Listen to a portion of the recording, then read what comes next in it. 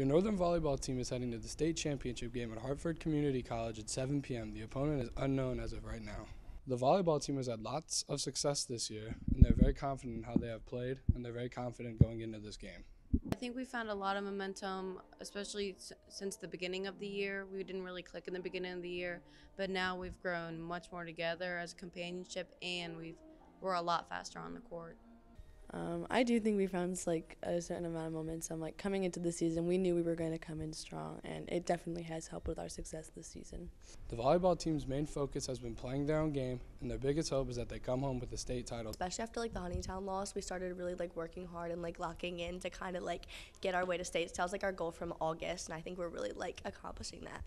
I don't really think that we're underdogs. I think that people might assume that we're underdogs just because we have a lot of freshmen that play on the court as starters, but I wouldn't say that we're underdogs.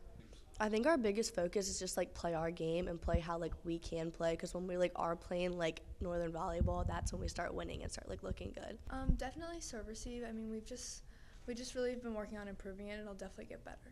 Just keeping our heads up, being fast, playing Northern volleyball, and just loving the sport more than the other team will. We say it like every single game before every single one. We're like, we're here to play Northern volleyball, not Huntingtown volleyball or Leonardtown volleyball or Crofton volleyball. We're here to play Northern volleyball. I think they're having they have really tall girls, probably like six foot girls. They're big blockers, but we're a good team, so we can get around it. I'm Logan Prang reporting for WNHS TV.